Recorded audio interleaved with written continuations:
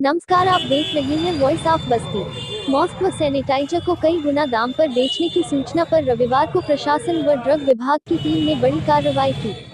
ज़्यादा दाम पर मॉस्क बेचने के आरोप में तीन दुकानों को प्रशासन ने सील कर दिया। कार्रवाई के बाद बाज़ार से मॉस्क की बिक्री बंद हो गई। ड्रग इंस्पेक्टर व नायब तहसीलदार सदर की टीम ने कंपनी बाग स्थित विजय मेडिकल स्टोर पर छापेमारी की। मौके पर सिविल लाइन लेडीज़ क्लब निवासी अंकुर मिश्रा अस्सी रुपए के रेट पर मॉस खरीद रहे थे। दुकानदार बिल व दुकान का लाइसेंस मांगने पर नहीं दिखा सका। नायब तहसीलदार ने दुकान को सील कर दिया।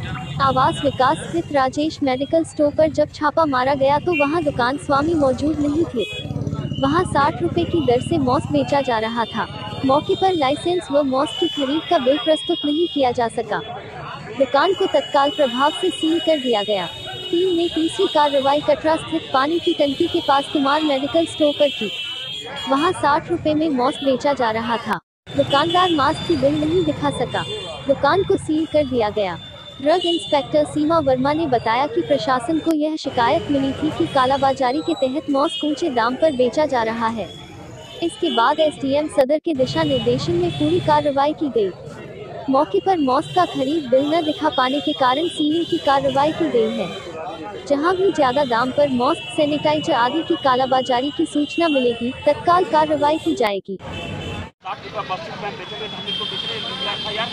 मैंने शिकायत मैंने इसीलिए मैंने आज जाँच किया है। और दो जगहों को मैंने सील कराया ये रेट भी नहीं दिखा दे रहे हैं। और जो आदमी सामान खरीदा वो सब बयान दे रहे हैं। कौन सी दुकान से? ये किए होंगे? ये जो है एक और राजेश मेडिकल स्टोर करके है वहाँ आवास विकास कॉलोनी। में ये दोनों हाँ ये दोनों ये लोग ज़्यादा दाम ले रहे थे मास्क ज़्यादा दाम रहे हैं दाम था उससे दाम पर दे रहे और इनका जो रेट लिस्ट उसको भी नहीं दिखाया और इस प्रकार की अनियमितता को देखते हुए इनका ये दुकान ज़िले में ऐसे तमाम लोग इस तरीके से बेच रहे हैं। तमाम ऐसे दाम तो उस पर क्या कार्रवाई होगी खिलाफ कार्रवाई होगी जाँच होगी। ताकि जो निर्धारित रेट है उससे ये नहीं कि उससे ज़्यादा ये लोग ले लें।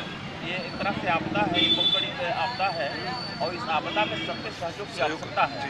अगर इसको ये दस रुपये की चीज़ को मतलब दस रुपये मजबूरी समझ कर अगर पचास रुपये लेते हैं तो निश्चित रूप से दंड के अधिकारी ये ये हम लोग उस लगे हुए हैं। शासन पूरा लगा हुआ है। जिलाधिकारी ने पे ये सब कार्यक्रम हो रहा है। तो इन पर मुकदमा भी दर्ज होगा?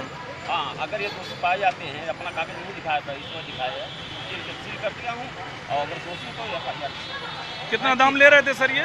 ये अस्सी रुपये ले रहे थे। कितना कीमत था उसका? कीमत तो ये दिखाई नहीं पा रहे हैं। कीमत कीमत वो बताएँगी मैडम।